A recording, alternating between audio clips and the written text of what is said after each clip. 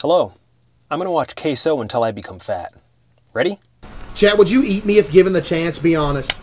I couldn't even start. There's too many calories. It would take 11 months. Queso would be enough food for a year. Your weight would feed a full bloodline for 20 years. 50,000 calories.